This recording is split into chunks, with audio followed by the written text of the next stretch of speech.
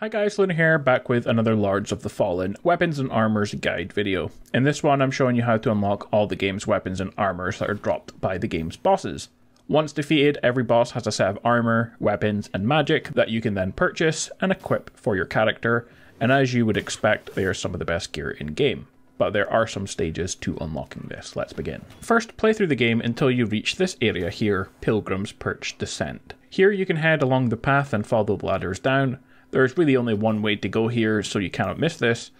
But you'll come across this section here where the ladder drops off an edge. Activate Umbral and a new platform will appear with lots of enemies, and you can defeat them. And there is Soulfly here to release. That will drop an item called the Bowl of Revelations.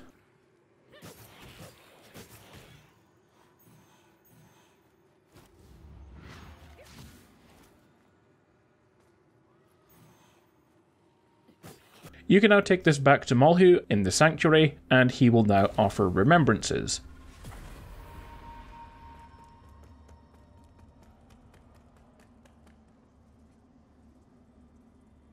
Ah, a key to shadowed halls of the past. Their delights now yours to indulge in, bearer of the lamp. Remembrances are dropped from every major boss fight, like this one here from Pieta, the first boss you come across in game.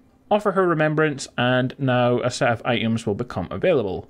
But to buy them, you will need Umbral Scourings, which are dropped from the fragments of the past that you come across all over the game, and each fragment will drop two Scourings if you watch them. So that is how you purchase every boss gear in Lords of the Fallen, and how to buy them as well and they will become available now that you have the Bowl of Revelations as soon as you defeat the boss. Guys, like and subscribe for more guides. I'm working on a video for all weapons and armors for Pilgrim's Perch Descent, including one of the game's best armor pieces, so like and subscribe for more, and I'll see you in the next video. Bye.